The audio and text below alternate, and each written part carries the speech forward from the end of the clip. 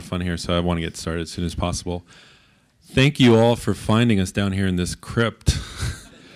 Oh, but uh, you know, it's really heartening to to see a good crowd here. So anyway, I'm going to start um, by just briefly introducing myself. Uh, my name is Obie Fernandez.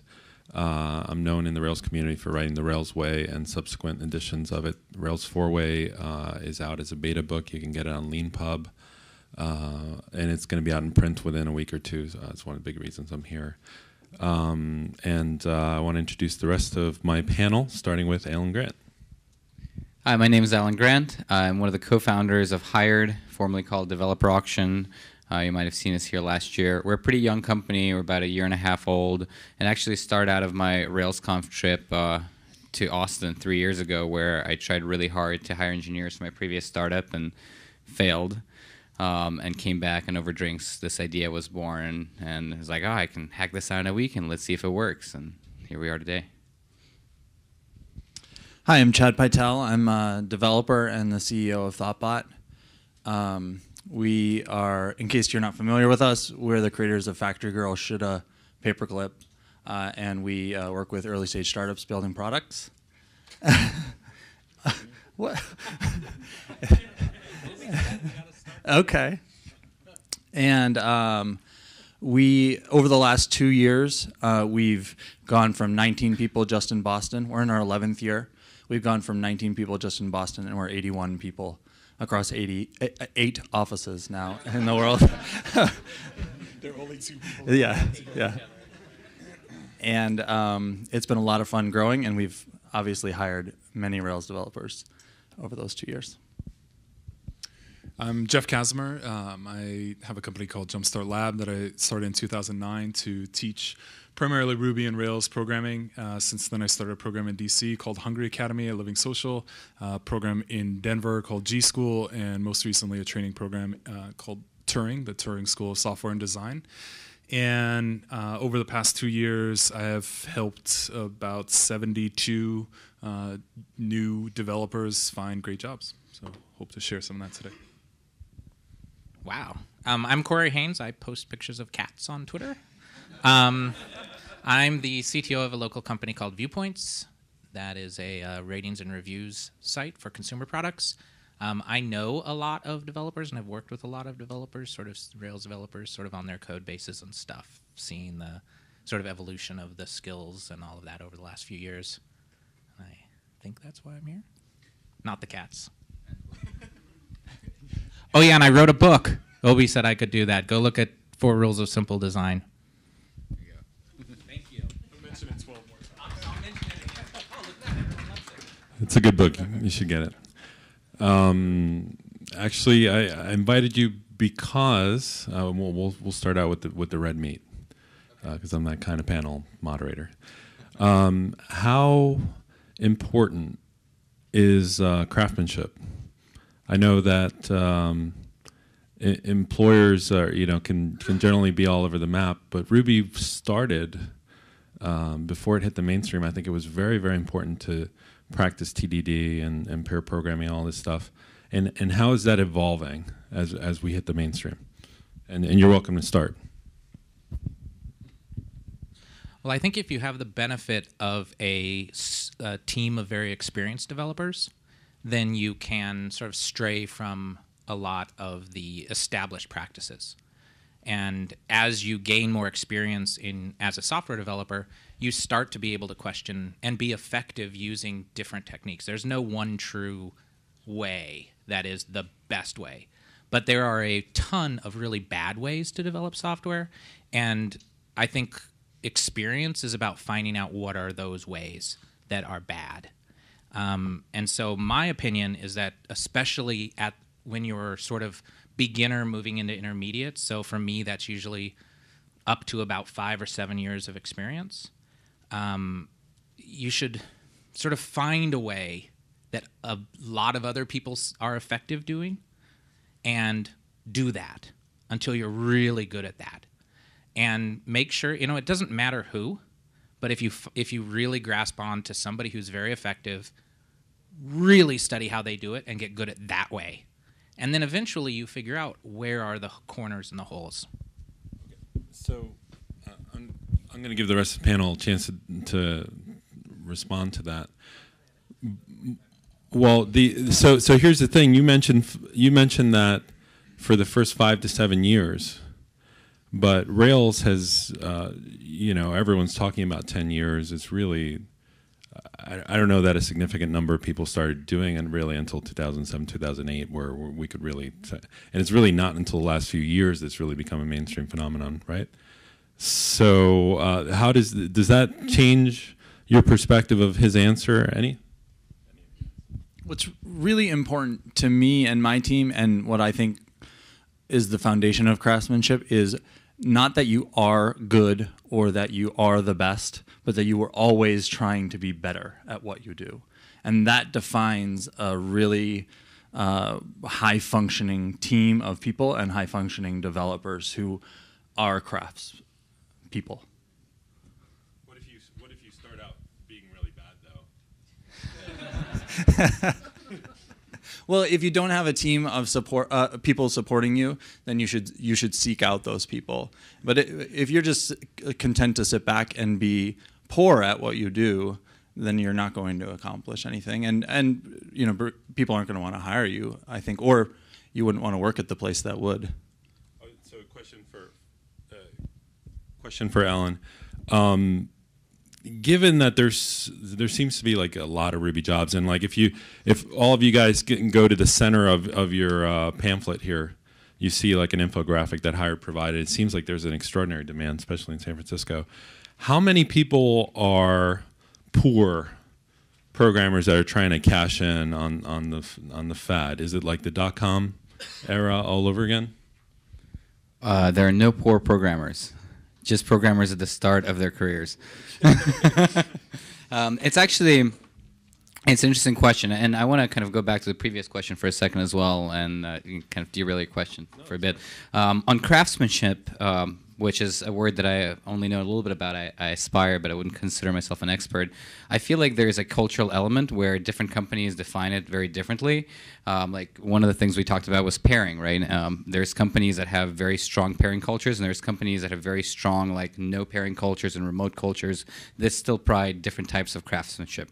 So to some extent, it becomes a you know, are you a fit, so to speak, for the environment that you're going to be performing in? Um, now. Th- different aspects of culture, you know, what you just mentioned as far as wanting to always be better and not, you know, not wanting to be selling your job. Also, cultural elements, I feel like they're much more universal. I don't think that there's a company that's like, I want to hire the the developer that's stagnating. Like that's that's exactly who we're going after. Um, but I guess before answering your question. Um, you know, we see a variety of different candidates, and we curate the pool that actually participate in hired. And so, to some extent, the people that are participating have already passed some sort of bar there. But I'm kind of curious as far as the audience, like what brings people to to this particular panel, because I think that will help us better understand, you know, what we should be talking about. Like maybe like as a show of hands, like how many people are here because you're you're hiring Rails engineers and you really want to figure out how to like hire Rails engineers. Like how many are here from the company side? Okay. Um, and then how many are here because you're interested in sort of the future of jobs from, from your own perspective as an engineer? Okay, so that's that's the overwhelming majority. Cool. That's that's good to know. Yeah. so, but so then, why is there so much? If everyone here is looking for a job, yep. then why are there's apparently so much demand for Rails developers, and it's so hard to hire them? So a better question then on that is how many people that raise their hand that are here from the company side are currently employed? And how many, uh, actually, how many are currently interested in job opportunities that are not currently employed? Yeah, but their boss might be. Right, right. so I, I, don't think people are here because they have a hard time finding Rails jobs. I think it's just because, you know, what you said, everybody wants to continue to keep learning and leveling up. What's the next step? There's also the idea that you know, right today people aren't having jobs, and there's a lot of Rails jobs. But what is the what's the landscape look like a year from now, two years from now, five years from now? You know, if if all you know is Rails, or you entered the industry primarily through Rails, where are the places that you should be going? Um, I don't know if this was a later question, but where sh- what should you be studying? Are you going to be able to find a job in the future if all you know is Rails? Thank you. Uh, let's save that one for. We, we got Later. about half an Okay. hour left. Let's save that Okay. for, the, for the last quarter. But we um, here's another microphone. I have a quick comment on that. You know, while we're on that, um, it, it's actually kind of hard now to get a job doing just Rails, right? We had an engineer that started recently who is you know extremely smart, passed all of our coding tests, just stellar, had no Rails experience, and after his first week, he's like, "Wow, I am really, really challenged." I'm like, "Why?" He says, "Well."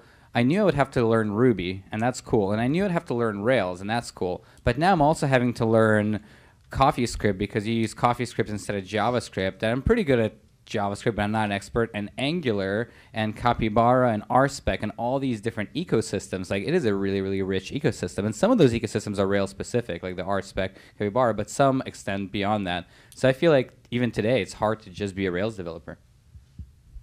Yeah, totally. I think that that's been one of the the big barriers to. It's one of the things I scratch my head about. So maybe this is a chance for Jeff to to jump in. You are teaching. You're teaching people ostensibly to to be uh, hireable as Rails devs, but to be a Rails dev, you have to know SQL. You need to know JavaScript. You need. You probably need to know some CSS or at least understand the asset pipeline, which is really hard as a beginner. Uh, It's really hard. Period. you- Yeah. yeah.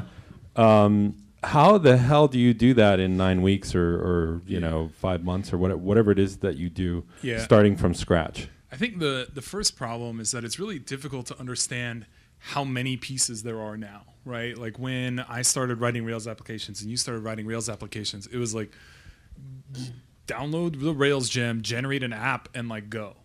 And now it's like you can't even just do that. You need V8 so the asset pipeline will do this, and you need all these header libraries so Postgres gem will build. And now it was set up Postgres, and like good luck with that. And it's just there are so many pieces just to get going. Where one of the central premises was like this is fast, this is full stack, like everything's ready to go.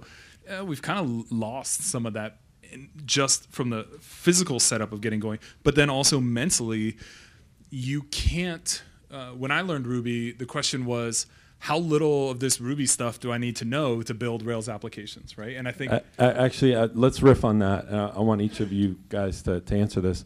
How little of the Rails, uh, you know, stack, the greater, let's call it the greater Rails stack, do you need to know to be hireable, like to actually be productive for, for one of you guys? very little. I would say very little. And I actually, when I do tutoring and stuff at the schools, is I tell them to stop learning JavaScript and stop learning all of the other stuff because if you're if you're sort of at the beginning of your career and you join a place where you're expected to be proficient in all of that stuff, that's the wrong place. You're not going to be really effectively learning there.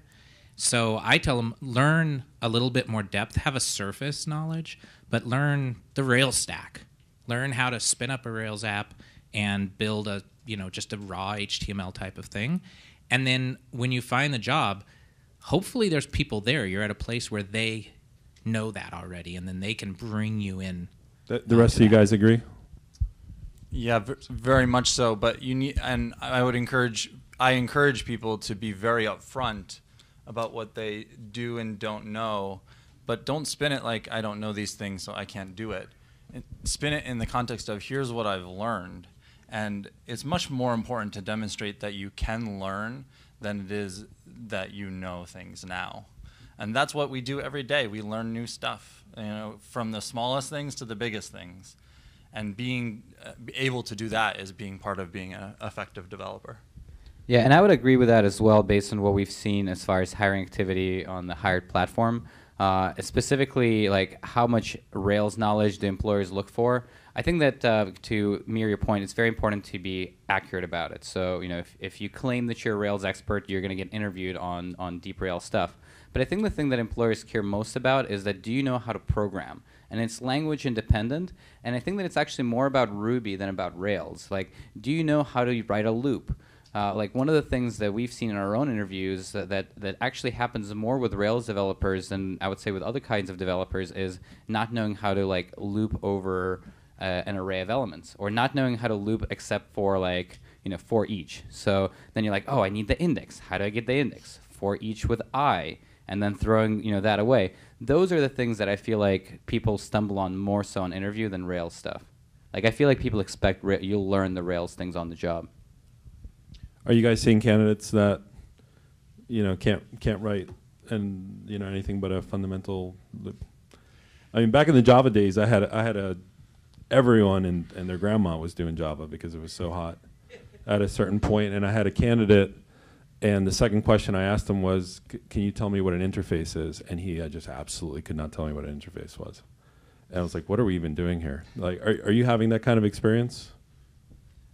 Um, so at, at Thoughtbot, you know, full developers at Thoughtbot are experienced Rails developers. They've shipped multiple applications. They do test-driven development. You know, they're very good with. Um, we don't have de- we don't have front end developers, so they tend to. Do you, do you help your clients hire as well, though? Yeah, and we do. And so, and what I tell them is that you, if you're serious about hiring uh, and building a team, you need to factor. You need to provide an environment of training and support because you know we, these people just didn't appear magically. Like they don't just appear magically, and you are you know you're trying to hire two people. No one knows who you are. Like it's going to be very difficult to attract the kind of uh, level of person that you're setting your standards to. Is And it, so is it on, so so there's still uh, there's still Thoughtbot and Pivotal and HashRocket and other firms that attract top talent. Uh, what are the it sounds like you just said that it's difficult for, for some of these startups and smaller clients to, to actually attract, let's say, quote unquote, top talent. Is that is that a fair statement? Yeah, I mean that's what we see with people that we work with. Um, you know, it's not to say that it's not impossible, but th- those people have their choice of where they're going to work for, um, yeah, and so they are very um, choosy. And what what's it take to hire, you know, some of those people? And any of you can answer. I think one of the things we see that doesn't work is salary. Um, you know, although engineering salaries, developer salaries start off with a high floor, um, you won't find many developers like under 60k. Uh, it does top out relatively quickly, and that's something I try and warn our students of. You don't find a lot of people um, who are doing full-time programming that are making over 200. And so it's kind of like you start quick and you ramp up and you're two years in and you're making 110, 120, 130, and then it starts petering out. Now, there's also the flip side of that is once you really get up above like $100,000, the relative value of those dollars starts diminishing really quickly. And so I see not infrequently people um, turning down more money to do a project they're more interested in or work with a team they're more excited about, which makes a ton of sense to us. But to business people, that's incredibly frustrating because they're like, no, I wanted that guy. Like, I will pay 20K more. And it's like, pay 50K more. It doesn't matter. Like, he's not coming. Uh, so uh, when I uh, so I do a lot of counseling to our students about picking a job. Uh, most of our students are fortunate to get uh, between like two and five job offers.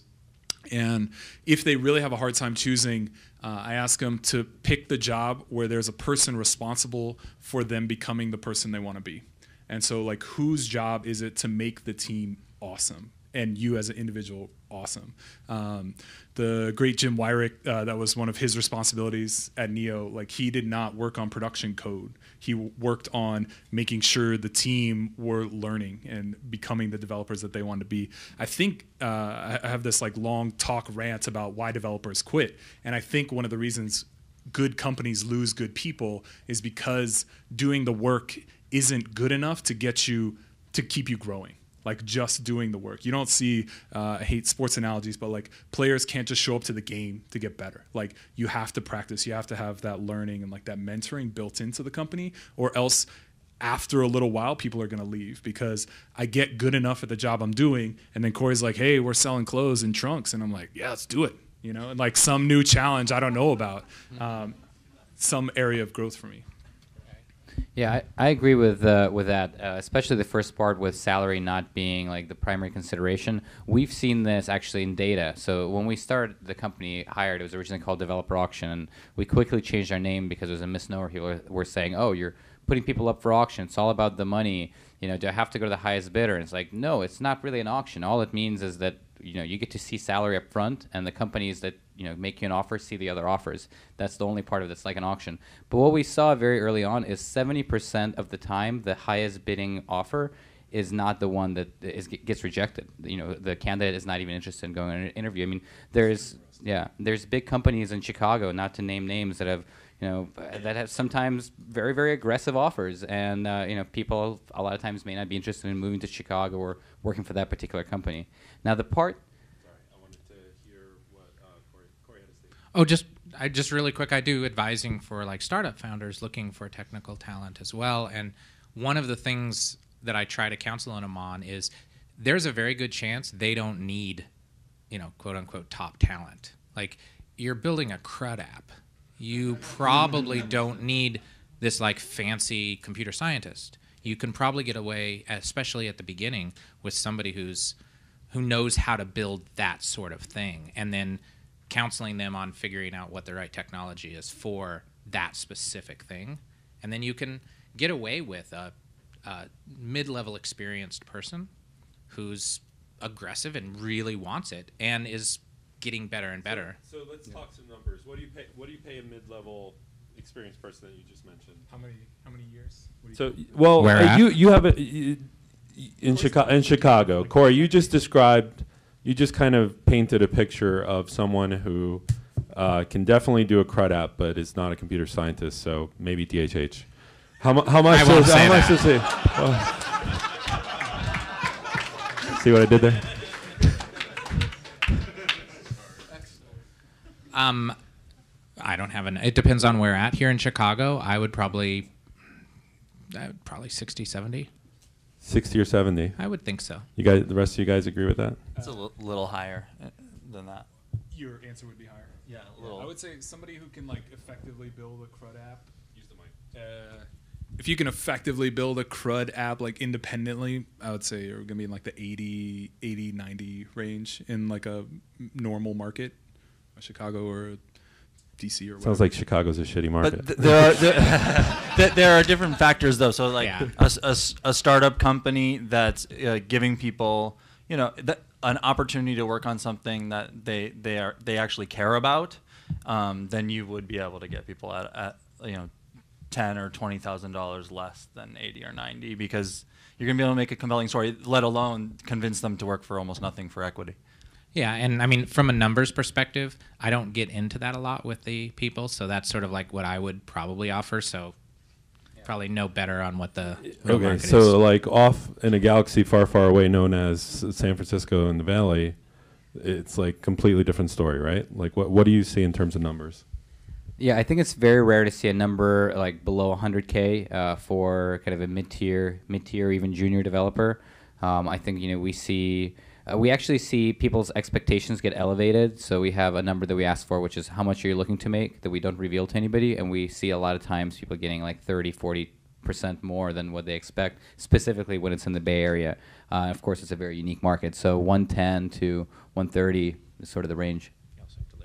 So uh, w- that's not so th- that's not necessarily what we we For mid-tier. see for in in what we see now that we have offices in you know eight cities all over the world is it's sort of like the same effect that it tops out pretty quickly. There's actually not that much range, and so you get into situations where the the difference in salary that you see in San Francisco doesn't actually match the difference in cost of living, and um, and you see people not making anywhere near that because they have um, you know been convinced to work on a startup or they really um, at Thoughtbot like we make certain sacrifices in order to wake, work the way that we do, and and people want to want to work at Thoughtbot because of that. Okay, I want to shift gears a little bit. So, uh, sure, two minutes. Yeah, I want to add one point to your original question, which I think will actually be useful to people looking to hire. So the question was, you know, if you want to get the top engineers, what what makes a difference to them? And I think all the points were spot on. But one thing that uh, that I feel like is easy to change a lot of times is the interview process. It's crazy how many times we see great companies miss out on great candidates because like people are too busy to interview or something like that. Like, Too oh slow. yeah, sure, like we'll talk to you next week, and then the next meeting the week after that That like that is the one thing that every company can fix that shoots a lot of companies in the foot. So, given that most of the room here is not employers but employees, like if you're on the other end of that situation, is there anything you can do about it? Don't apply through the website. or if you do apply through the website, you have to find the person who's that website probably dumps into a box that somebody checks once a week or something like that. And almost every student of ours that gets hired at a place, it's because we're able to introduce them to someone on the team, whether it's a engineer, senior engineer, VP of technology, whatever it is, like someone who's not in HR that can like circumvent all those slow, slow processes. Okay, true, true or false, and why? It's a dirty little secret of the industry that most of the great jobs are not gotten through recruiters and uh, websites and all shit industries. Like, you advertise as a last resort, right? Like you've already maxed out your friend network, anyone at your meetups that you knew, etc. And now it's like, okay, now we'll advertise and like get some random people. So you guys agree? Okay. Yeah, and and the meetups, Ruby meetups, Rails meetups are very very important to not only finding a job but finding people. I I, I can't stress that enough. Um, that's where a lot of stuff happens, and it's not even just at the meetup, but it's then going out afterwards and socializing with those people because that's where if you want to if you have a company that you're passionate about working for you really care about them and you think they might be the right fit for you then seek you know not in a nefarious way but seeking those people the people who work out that company and building a relationship with them is going to make it so much easier to actually get the interview or be persistent with them And really quick on the flip side of that is going to a lot of meetups and building your network of people around. That's also a great way to discover what jobs are out there. Because since they aren't posted, you might say, I really want to work at Thoughtbot, but there might be a place right down the street that turns out to be awesome and they happen to be growing, and you meet somebody at a meetup like that.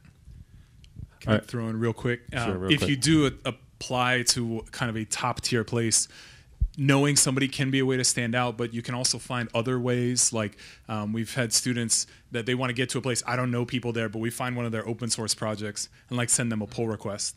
Um, we had a student get rejected from this company. I think it was called Thoughtbot, and in the uh, in the rejection email, the guy who rejected him had a PGP signature, and so the student uh, replied back to him and said like, "Oh, thanks for your time. You know, I'll, I'll apply again in the future," and encrypted it with the dude's PGP key, and then got interviewed and then got hired. So it's like. When, when you're applying to a place that's getting like hundreds of applicants, when everyone else is getting no applicants, you have to find, Find a way to stand out. To stand out. Um, and, wa- and persistence is, is key. You know, we so we have an apprentice program, and we have over 400 people waiting to even get their application reviewed, and and you know the people who un- unfortunately the people who really stand out are the people who get back to us. You know, every every month or whatever, and they say, "I'm really interested in this." Uh, in this opportunity, and it makes a big difference. And it's a well established fact that if you include with your email at least one picture of a cute cat, it will get noticed At your, at your company. at every company.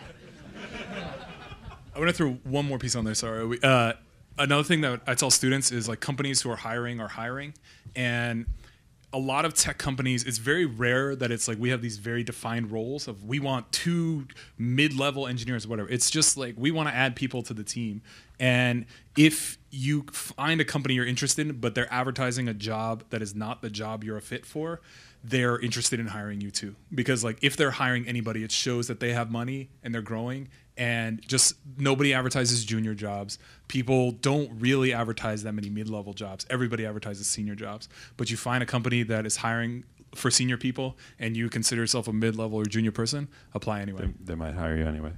Um, so, th- would you say that a um, strong Rails developer, you know, maybe five years experience, something like that, can easily find work as a freelancer for hundred dollars an hour? Just consistent work. I was billing hundred dollars an hour when I didn't know shit. So yes. All right. So, so maybe even one twenty-five, one fifty. As a freelancer, I don't think you can bill under hundred an hour and like even cover. Okay, so if you're working full time at those rates, that's equivalent to two or three hundred thousand dollars a year. Who in their right mind would go work for an employer in that kind of market? So you, it's hard to actually bill enough hours to actually make it add up to that, and and the act of getting to the point where you can bill that many hours is pretty difficult, and then you have to deal with that many customers or invoicing them and the headaches of contracts and all that stuff. So there is like there are people in their right mind who just don't want to deal with all that stuff and would rather And it's worth a hundred thousand to them. yes. I think freelancing is one of the worst jobs on earth. Like, I would never ever go back to freelancing because it's all on you. There's like no one ever shares the burden. No one like things. There are all these jobs that you're not qualified to do. You're now like reading, writing, editing contracts. You're doing accounts payable and receivable. And at first, it's like, oh, it's not so bad. It's so fun. I can wear my pajamas and stuff. And then like a year into it. It, you realize like there's this big entrepreneur myth right of like start your own company be your own boss. It's amazing. And i'm sure it's the same for you when you guys are starting out. Like when you're in charge that means you worry all the time. Like what's the pipeline? What how full is the pipeline? It's okay now I'm, i know what i'm doing three days from now. That's cool. And then pretty soon you're like shit the pipeline should be like two weeks. It should be two months. It should be six months out. Oh maybe i'm not billing enough. Maybe i'm billing too much. This client they're not paying on time. You send out net 30 invoices and they get paid in 90 days. And then you're like oh your friends are like yeah fire that client. You're like bitch i need the money. Like i don't like i can't i can't. Like And besides that, I mean, there's also like, what about mentorship? Who are you going to learn from? Are you are you going to be your own mentor? And then what about the projects that you know never go anywhere? Like I came from that world and you know had a consulting company for a number of years, and the thing that kind of drove me drove me crazy and eventually got me to do product despite you know a massive pay cut was never seeing projects launch like working on something and it's like you know it doesn't go anywhere and you're working on something else like what about you know that feeling of creating something that's really really quality Um, Corey, anything? Any thoughts on that? No, no. Thanks. I was thinking Um, so kids. wh- so it seems like okay. So between between hitting the mainstream hard and the efforts of of people like Jeff and and other uh, and apprenticeship programs at some of the the consulting shops, is there a possibility that over the course of the next couple of years we're going to see a glut of No. of talent on on the market, and and what you know what basis do you have for for that? I mean, are we immune to like all all the other kind of historical trends that happen in any sort of market? uh, I wouldn't take it that far, but you know, I, I worry, of course, like if we're training developers, we're gonna graduate over 100 developers in 2015, and at what point do you reach saturation?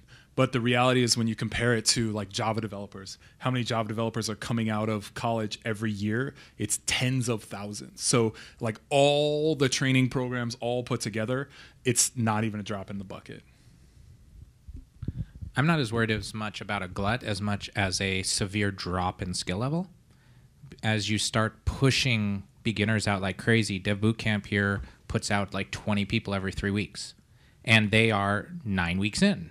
They're absolute beginners, and And, they're- and from what I understand, they're they're graduating and making like sixty k or more. Yeah, I mean, I, I don't honestly pay much attention to the money because I don't I don't think that that's important. What I think is important is the fact that you start to see more rescue projects, and you start to see there's ideally these pe- these people come out and they join a company that has a either an apprenticeship program or a very heavy culture of mentoring and learning. But there's, o- there's only so many of those companies that so have many. effective apprenticeship. and then they programs, right? started working you know they need a job so they go work at a company where they're sitting in a cube cross trained into another language and basically just sit there writing bad code because and so that's what i'm afraid of more than a glut where like oh salaries go down or anything like that. It's just across the board the general skill level is going to go down and then you're going to start seeing projects failing. There's going to you know i know that there's more and more um, con, you know sort of contracting companies that are that consist of basically Chad, people out Chad's of not schools. afraid of this trend because No. he does rescues. I don't want. I don't want that work. Uh, no, we, we get. You know, we, that's not what we exist on. That's not our primary business, and we don't want that either. Like, that would be really bad. Uh, I would be bad not only for the the industry, but Rails specifically. But I, I mean, it, se- it really seems like there's the, these programs are popping up in every single city.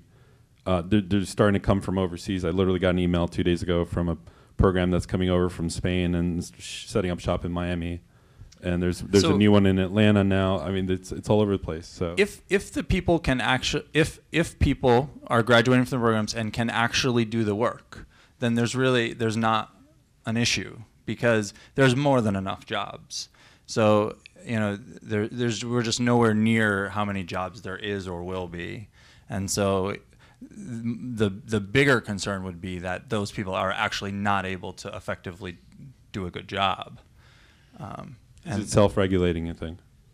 Well, I, I don't think it's self-regulating. I think there's a lot of responsibility on what I consider like our generation of developers that got into this community in 2005 to 2009 who at the time were developers and are now VPs of engineering and CTOs and CEOs and so forth.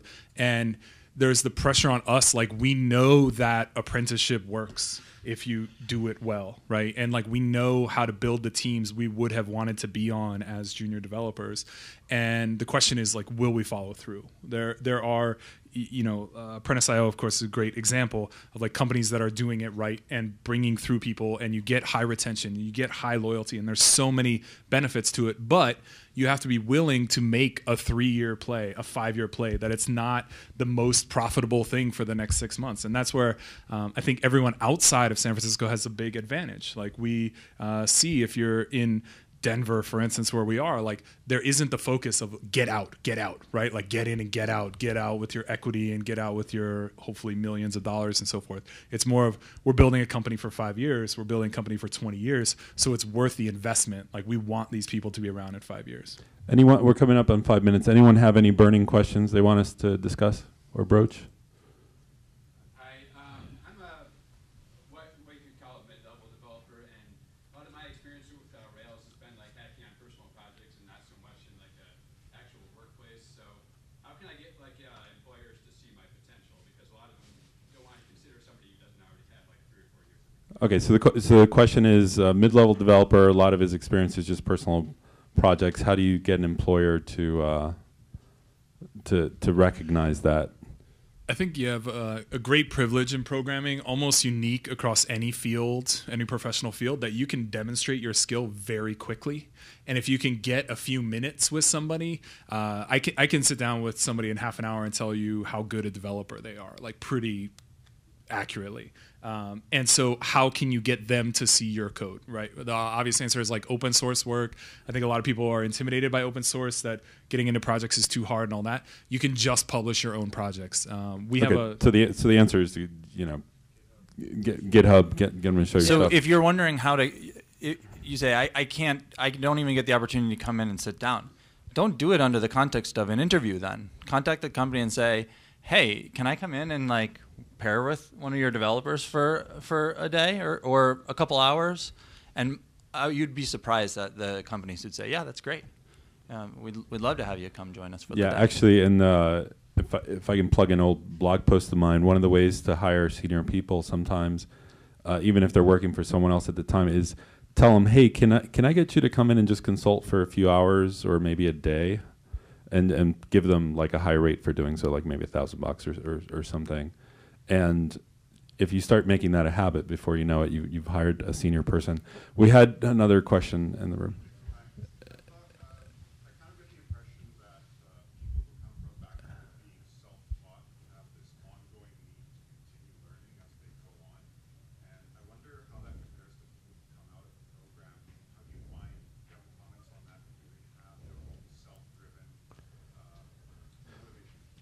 So the question is, how do how do self starters, uh, self people who are self taught, who have a uh, mentality of continued learning, compare to people who are coming out of programs where there was more of a curriculum and and they were kind of you know were force fed a, a certain way of doing things.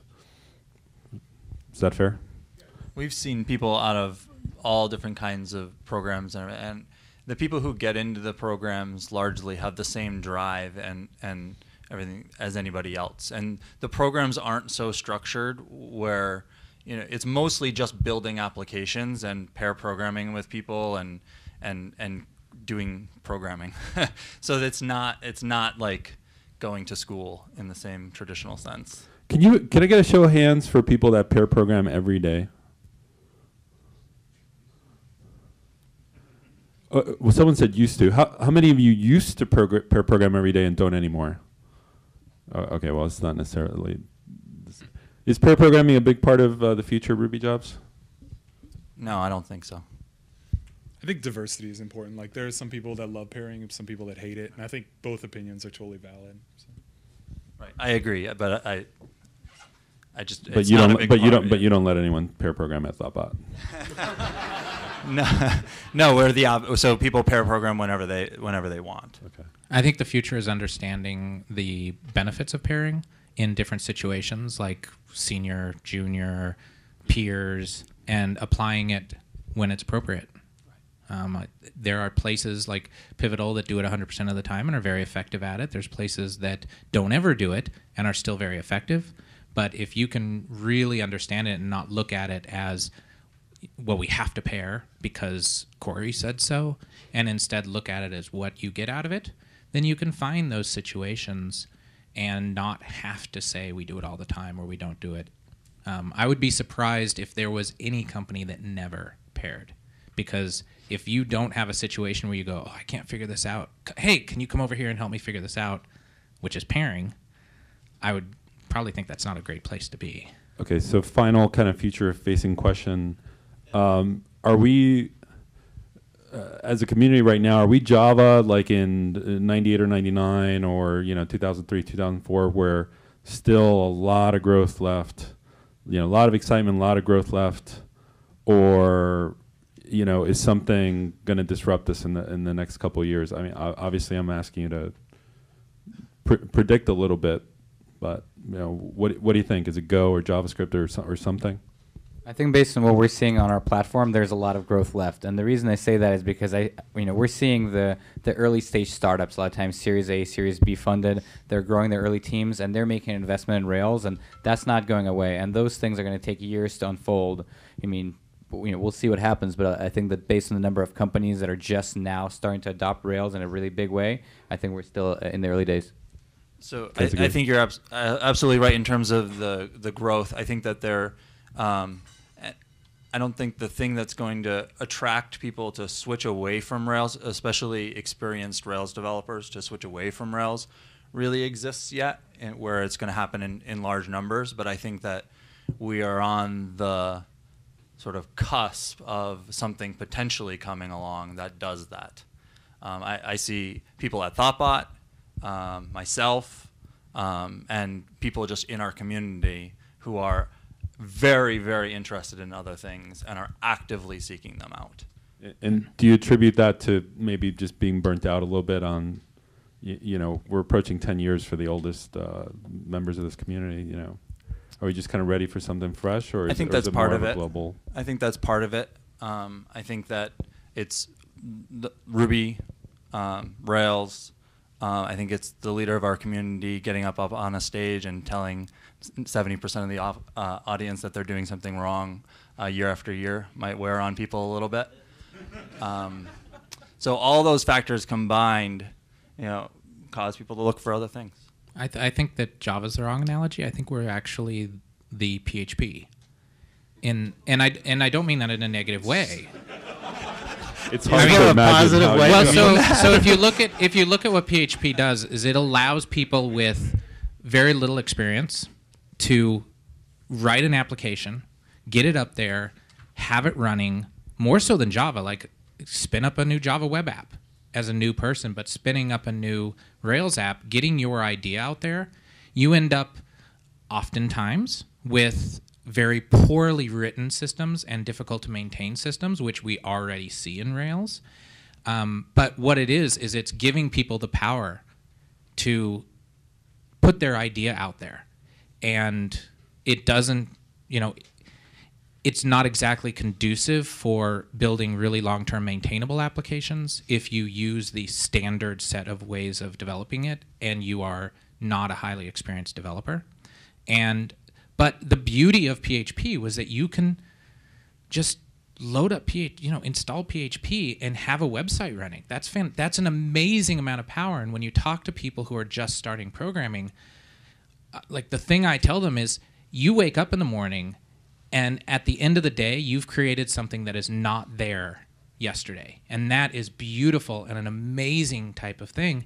And Rails you're able to do more in a more effective way than you are with a raw PHP.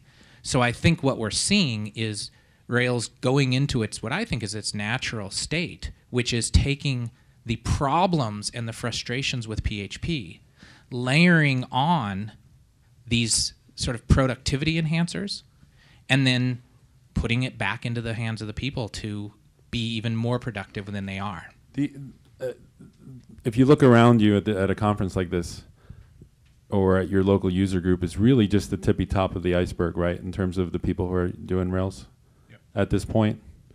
I mean, it used to be that you you know you went to RailsConf, you were with like a significant portion of the worldwide population. You know, when we first started out. Uh, nowadays, what do you what do you think that that you're seeing in a conference like this? You know, Like percentage. yeah, I, mean, I mean, I you- agree you know with what I'm saying? Like, I mean, just it's a self-selecting group, right? So it is the people who are most engaged with what they're doing.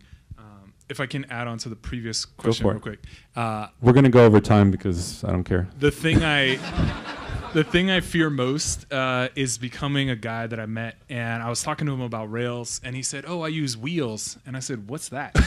Do you- have you ever heard of this? No. And he said, "Oh, it's um, it's Rails, but it's implemented in Cold Fusion." And I said, like, holy shit, like this is delusional that you're like trying to perpetuate this technology that's dead.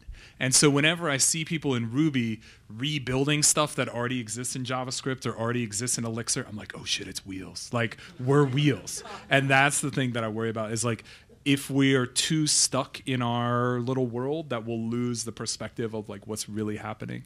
Uh, I think that Ruby and and the Ruby generation are probably the last great programming communities.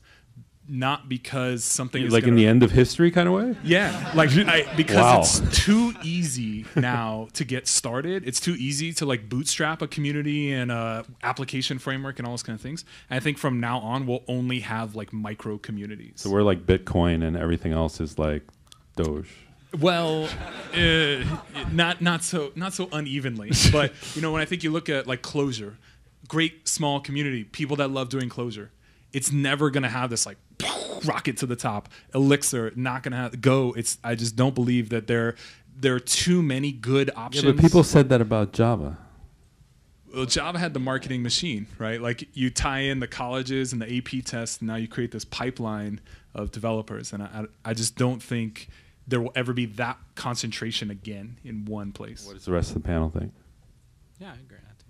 I I think I disagree disagree with that to a certain extent because when you look at Clojure, like it's a language that is very good at solving specific problems. So it's not going to get to a general audience in the same way that that Ruby did.